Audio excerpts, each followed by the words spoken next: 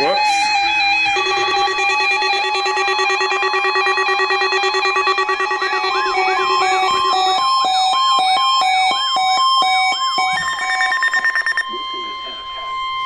This is a test. This is a test. This is a test. It's a test of the National Weather Service NOAA weather radio. Wow. Radio.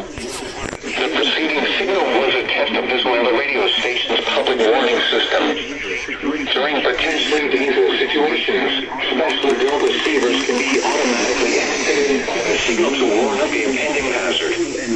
Tests of the signal and receiver's performance are normally conducted by the National Weather Service between 10 a.m. and noon each Wednesday. If there is a threat of severe weather, the test will be postponed to the next available good weather day.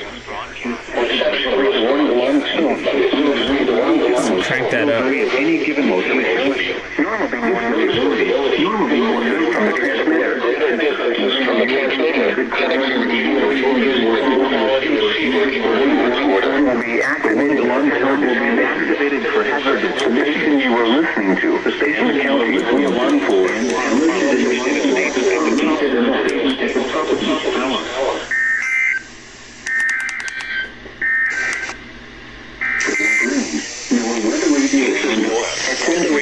Shoot. Uh, W. 2.52. and the overnight low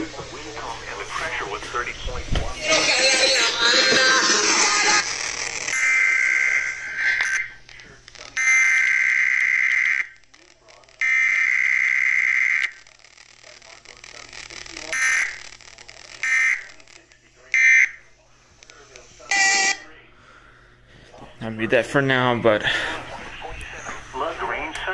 WNG 641, WK27, that was my bad. I actually had no idea this was on display.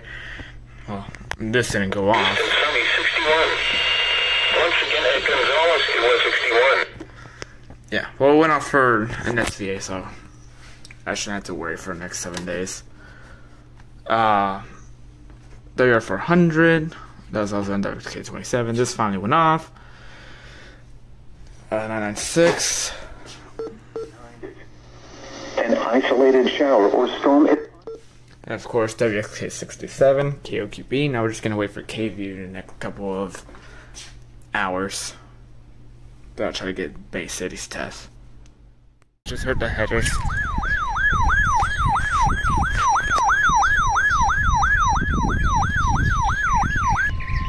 This is a test of the NOAA Weather Radio's warning device.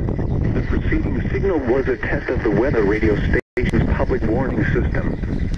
During potentially dangerous situations, specially built receivers will be automatically activated by the signal to warn of the impending hazard. Tests of the signal performance are normally conducted by the National Weather Service every Wednesday between 11 a.m. and 12 noon. If there is a threat of or existing severe weather in the area on Wednesday, the test will be postponed until the next available good weather day. Problems with reception of this broadcast, normally more noticeable at greater distances from the transmitter, can occur even though you are using a good quality receiver in perfect working order.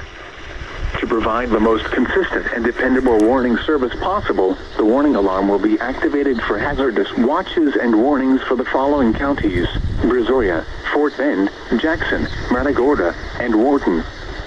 Repeating, this is a test of the NOAA Weather Radio's warning device.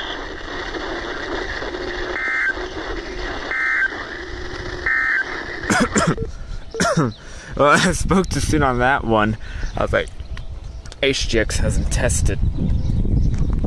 And then as soon as I sent that message, the headers went.